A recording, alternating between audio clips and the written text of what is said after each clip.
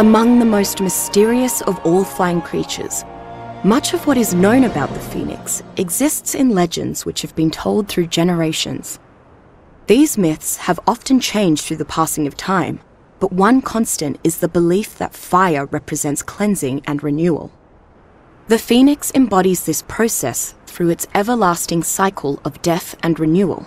Extreme heat waves in the desert seem to initiate the rise of the phoenix, while the end of this so called superheat precipitated the creature's reversion into ashes.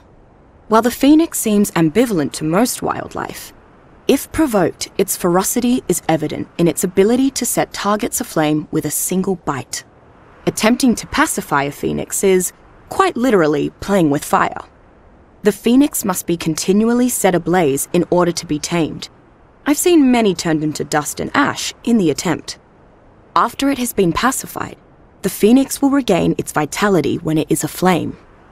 Although its compact size prevents the phoenix from being ridden, its aggressive inflaming has proved to be invaluable in battle. Plus, it can quickly roast up tasty cooked meat and refine raw ores at any time as a living furnace. We about to turn it on.